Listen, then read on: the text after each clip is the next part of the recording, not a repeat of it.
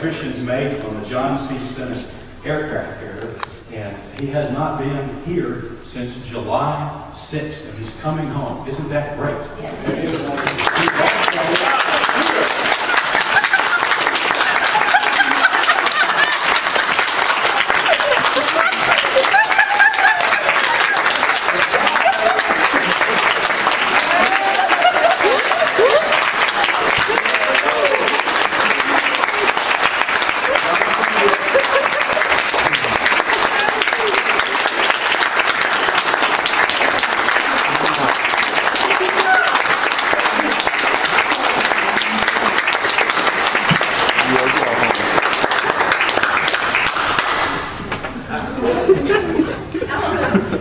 Hey, Grandma, best part? I got it on video.